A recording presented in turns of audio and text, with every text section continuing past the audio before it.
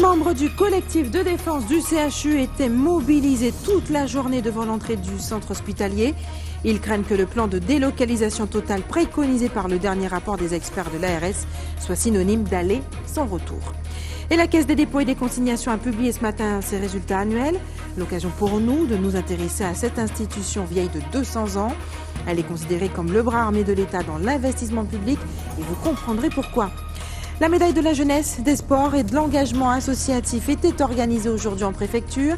Des médailles de bronze, d'argent et d'or pour récompenser et honorer des personnalités méritantes. Et petite foulée en perspective pour Marie-Josée Pérec ce dimanche. La championne olympique a accepté d'être la marraine de la course Odyssée à Guadeloupe auprès des 1500 coureurs attendus pour soutenir la recherche pour la lutte contre le cancer du sein. Bonsoir et bienvenue sur ATV Guadeloupe. Le centre hospitalier universitaire de Pointe-à-Pitre sera-t-il totalement délocalisé? C'est la ministre de la Santé Agnès Buzyn qui tranchera sur la question d'ici jeudi. En attendant, les membres du collectif de défense mobile entendent bien faire entendre leur voix. Hors de question pour eux de quitter définitivement le CHU Morne-Jolivière. Reportage Anne-Elisabeth Artsen, Moïse Dexter. Le collectif de défense du CHU avait donné rendez-vous à la population ce lundi devant l'établissement hospitalier. Objectif, faire le point sur le dernier rapport de l'ARS. Effectivement, nous attendons la population et le personnel hospitalier pour nous faire faire un compte rendu des rapports que nous recevons, à savoir le rapport CEREMA et le rapport Nancy, qui a parlé de la toxicologie, mais aussi euh, en première approche à les installations de bâti à l'hôpital. Donc, euh, nous analysons nous un rapport là, ça yo consulter rapport là si place parce que nous voyons que l'ARS sont contre information à ça les médias dit que tout va bien donc euh, quand c'est nous a imprégné yo, même des rapports là et fait propre analyse à yo. Aide-soignante depuis plusieurs années au CHU, Margot tenait à être présente ce matin pour deux raisons. Ça fait quatre ans que je suis au CHU et puis j'ai rien à la clé. Ça fait un an que je suis sans contrat et euh, ben aussi qu'on peut savoir où on en est concernant l'incendie, savoir quand on va être délocalisé et puis voilà. On est tous en service actuellement mais, euh, mais c'est difficile parce qu'on a tous des petits symptômes, on a, on a des maux de tête, certains ont des vertiges donc, euh, donc on tient le coup. Toujours. Le collectif de défense du CHU reste bien évidemment sur le qui-vive et prévoit d'organiser une nouvelle mobilisation le 3 mai avant le conseil de surveillance du 20 mai prochain. Et puis maintenant, parlons de cette histoire étonnante qui s'est produite chez nous, à la ville de Basse-Terre. Un gérant de société de location de voitures installé dans le chef-lieu a été écroué au terme de 96 heures de garde à vue. Il est suspecté d'être impliqué dans un important trafic de stupéfiants. Le récit de Linda Kayarsi. Dans les colonnes du France-Antilles de ce matin, on pouvait lire qu'un gérant de société de location de voitures à Basse-Terre et une femme ont été écroués ce week-end. Tous deux sont soupçonnés d'avoir trempé dans un important trafic de stupéfiants. Selon les informations du France-Antilles, tout serait parti d'un renseignement glané par les militaires de la brigade de gendarmerie qui faisaient état de produits stupéfiants stockés en quantité dans un appartement de Trois-Rivières. Bilan 1 kg de cocaïne, 1 kg 8 d'herbe de cannabis, 800 g de résine et 115 g de crack découvert. Si la totalité de cette drogue a été immédiatement saisie, les enquêteurs ont également procédé à la confiscation de plusieurs véhicules issus de la société de location. Et après plusieurs semaines de bras de fer, une entente a été trouvée entre les agents grévistes de la mairie de Basse-Terre et Marie-Luce Ponchard. À l'issue d'une réunion qui s'est tenue à huis clos, des accords ont été trouvés concernant les points d'achoppement, notamment les places de parking en état d'insalubrité auxquelles les agents étaient contraints de stationner leurs véhicules. On écoute d'ailleurs les précisions de Nestorius Flavel qui s'est exprimé au micro de Karen Diamant et de Patrick Curie. Aujourd'hui, c'est nécessaire que nous prendre ensemble, puisque quel que soit le conflit qui est en place, ce n'est pas tout le monde, hein. c'est à tout le monde. L'autorité hein. là, mais nous aussi, donc il faut nous devant ensemble quand possible. Et donc, euh, bien rappeler, euh, moi, les mecs, déjà dans un processus de négociation, mais subitement, ce travail a constaté que le salaire a trouvé en retard il a touché le 12, et d'autant plus que ça a en retard, c'est une retenue non justifiée. Et donc à un moment là, ça, ne peut pas accepter ça comme ça. Alors il reconnaître les faits, effectivement. Il y a même des camarades qui étaient là, qui sont en congé ou sont en arrêt. Et donc ils reconnaissent les faits. Nous qui discuter dès demain ces situations-là pour remettre en situation normale.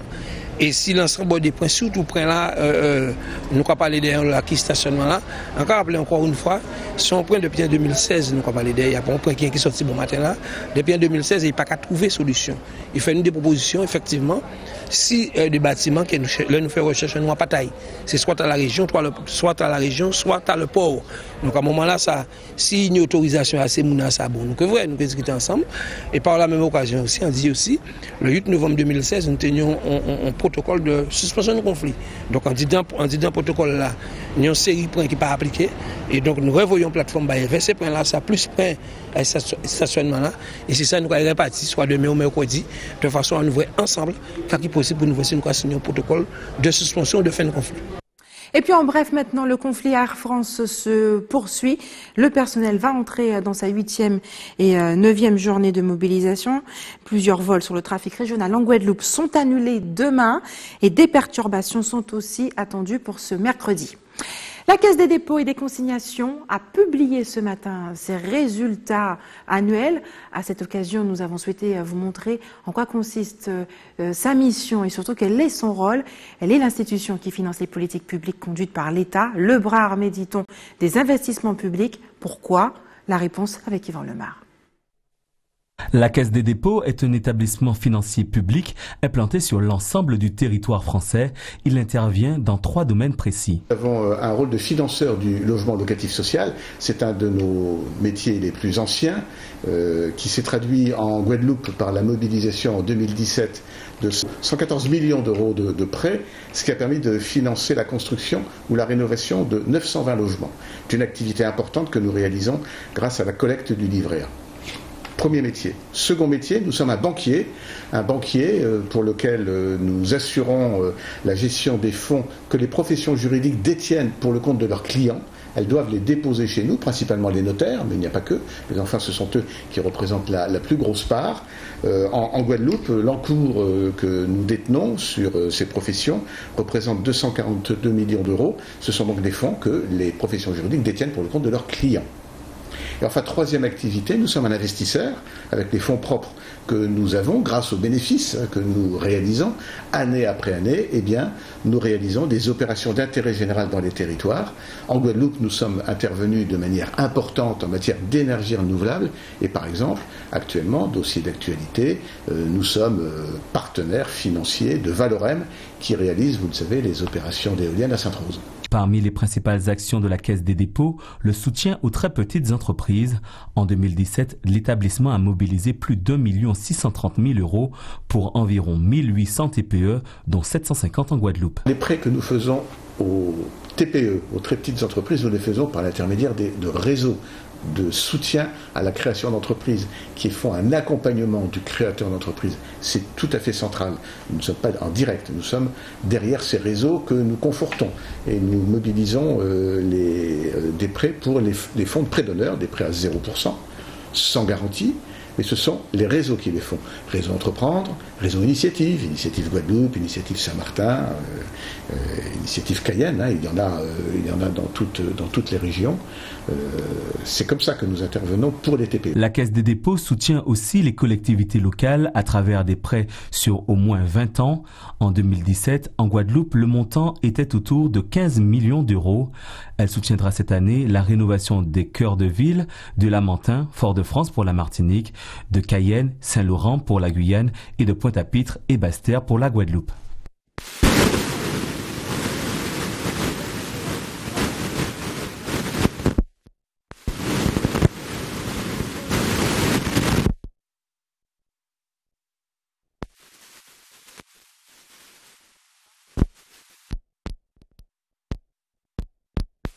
En 2018, sur environ 10 300 entreprises interrogées, près de 25% d'entre elles se déclarent recruteuses. Euh, cette enquête, elle est importante. Pourquoi? Parce qu'avec cette enquête-là, on va pouvoir derrière acheter des formations, mettre en place l'accompagnement pour les demandeurs d'emploi, adapté au territoire.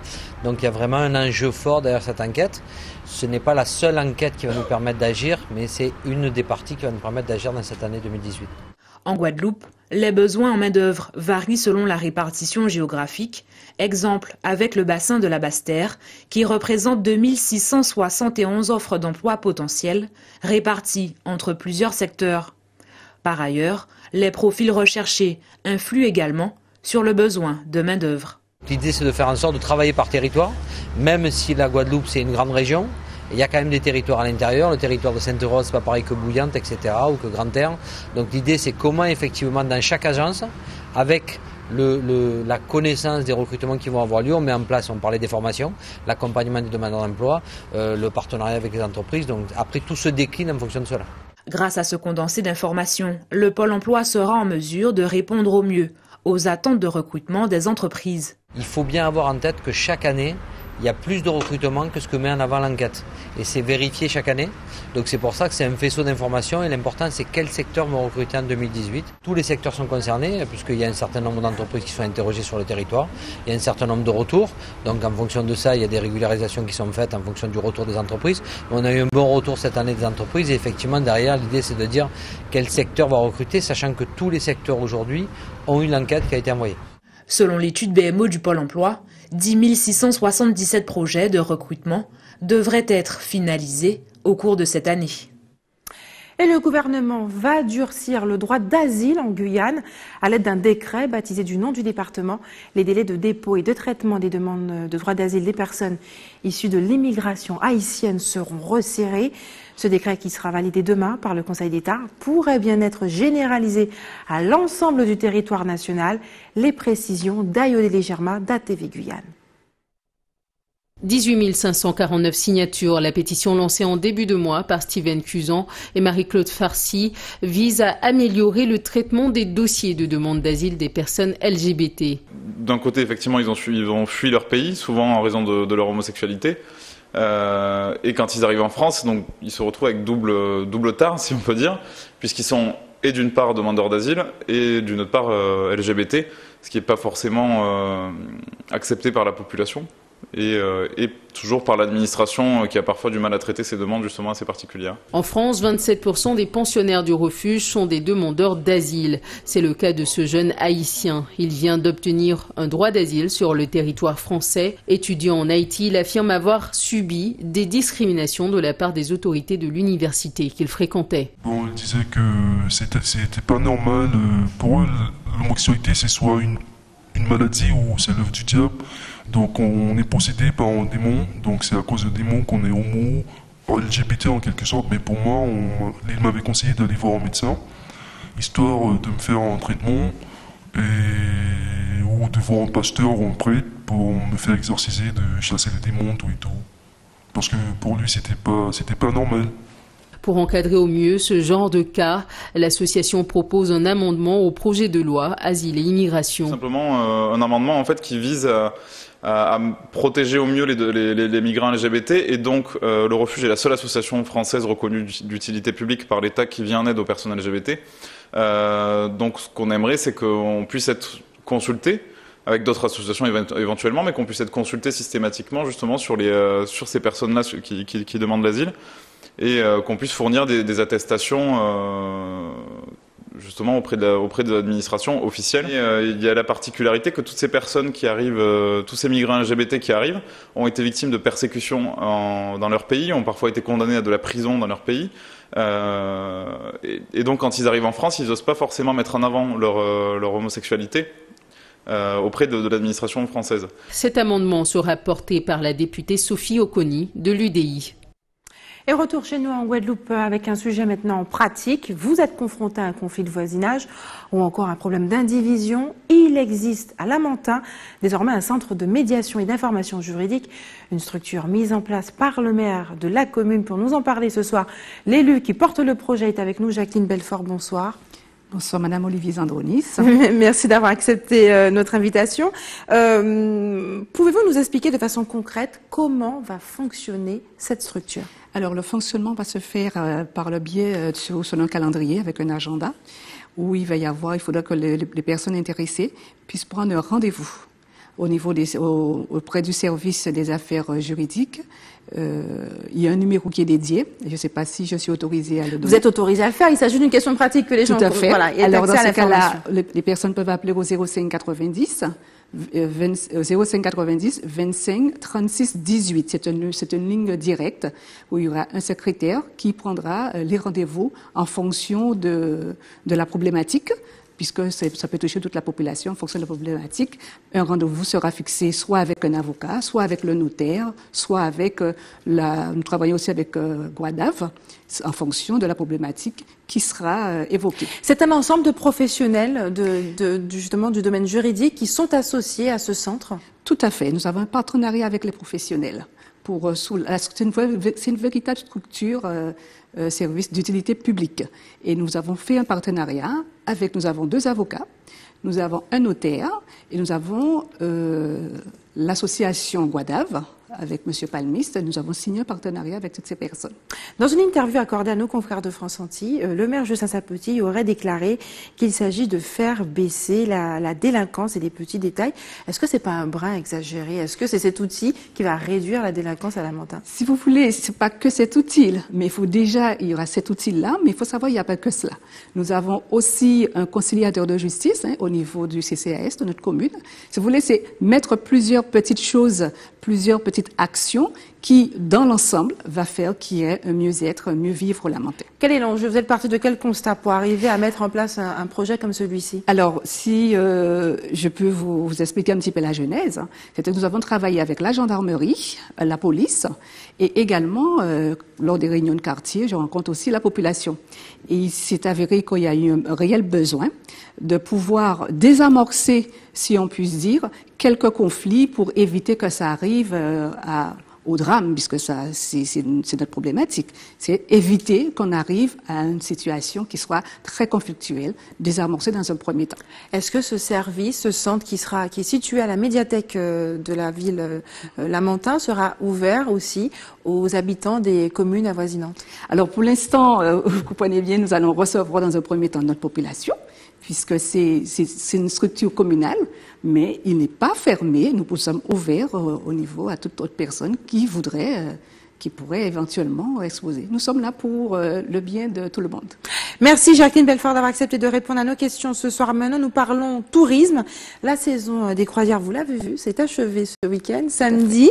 Quel bilan peut-on tirer? En tout cas, les taxis qui étaient mobilisés pour avoir accès au parking du port ont-ils pu profiter de cette saison? C'est la question que nous leur avons posée. On écoute leur réponse recueillie aujourd'hui par Anne-Elisabeth merci. et Moïse Dexter. Merci et merci et bonsoir à toute la population de la montée monde vous a entendu là, je crois, ce soir. On regarde, on regarde tout de suite le reportage d'Anne-Elisabeth Artsen et de Moïse Dexter.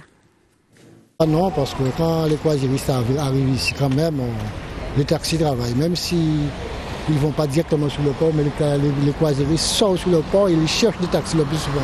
Parce que quand il y a plusieurs bateaux, les croisiéristes cherchent ces taxis. Hein. Je les ai amenés à Sainte-Anne, surtout à Sainte-Anne, le Gosier et à des Paradise.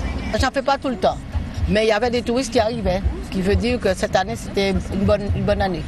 C'était bon dans la mesure euh, comparé à l'an dernier, là, c'est le plan personnel. Il y a eu plus de bateaux, il faudrait euh, voir aussi compte tenu de ce qui s'est passé à Saint-Martin. Il y a eu beaucoup plus, enfin légèrement plus. Ça s'est passé bien. Donc euh, je prenais les gens sur le port, je les amenais à Sainte-Anne. Parfois ils faisaient le tour de la Grande Terre, parfois le Nord-Basse-Terre et aussi euh, chute du. C'est admirable parce que normalement, il y avait beaucoup de clients et tout le monde s'est tiré la part de ce qu'ils attendaient. À cause du cyclone, Maria, ça s'est bien passé. Ah et, l'année prochaine, je crois ça va être encore mieux.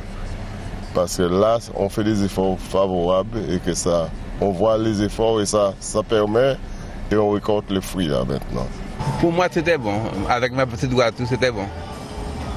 Alors j'espère qu'en 2019, ça sera très bon. Le plus souvent, je, rencontrais des gens qui, venaient directement à la station de taxi. Mais je, n'avais pas, je n'avais aucune envie de rentrer sur le port parce qu'il y a tellement de choses qui se passent. Il y a des vrais taxis qui sont à l'intérieur du port. C'était une saison, euh, pas, bonne saison, on peut dire une bonne saison, mais c'était une saison quand même qui était euh, passable. Et restez sur ATV euh, Guadeloupe dans quelques minutes des personnalités guadeloupéennes honorées lors d'une cérémonie à la préfecture. Et puis la course Odyssea aura lieu ce dimanche. Les grandes lignes seront expliquées par la marraine Marie-Josée Pérec en personne. Mais avant, je vous le disais il y a tout juste une minute, la médaille de la jeunesse des sports et de l'engagement associatif était organisée aujourd'hui en préfecture des médailles de bronze, d'argent, mais une d'or pour récompenser et encourager les personnalités méritantes en Guadeloupe pour leur sens de l'engagement. Le reportage est signé Karen Diamant et Patrick Curie qui ont assisté à ce moment solennel. Chaque année, la préfecture s'emploie à récompenser les personnes qui se sont distinguées d'une manière particulièrement honorable au service de la jeunesse, des sports et de la vie associative. Aujourd'hui, nous décernons 10 médailles de bronze, 3 médailles d'argent et une médaille d'or, donc 14 personnes qui se sont particulièrement illustrées, non pas euh, au cours d'une année, mais au cours peut-être des 10, 15 ou 20 dernières années. C'est ça qui est important. Parce que c'est la reconnaissance de tout ce que les bénévoles peuvent faire dans les associations. C'est une manière qu'a l'État de leur témoigner une forme de reconnaissance. Aujourd'hui, 13 bénévoles guadeloupéens ont reçu cette distinction honorifique. Après 43 ans de bons et loyaux services, le président du Cercle des nageurs de la région Basse-Terre a reçu la médaille d'or. C'est ma vie. Euh, je suis professeur de PS de profession, donc euh, depuis l'âge de 17 ans, je suis dirigeant, j'encadre.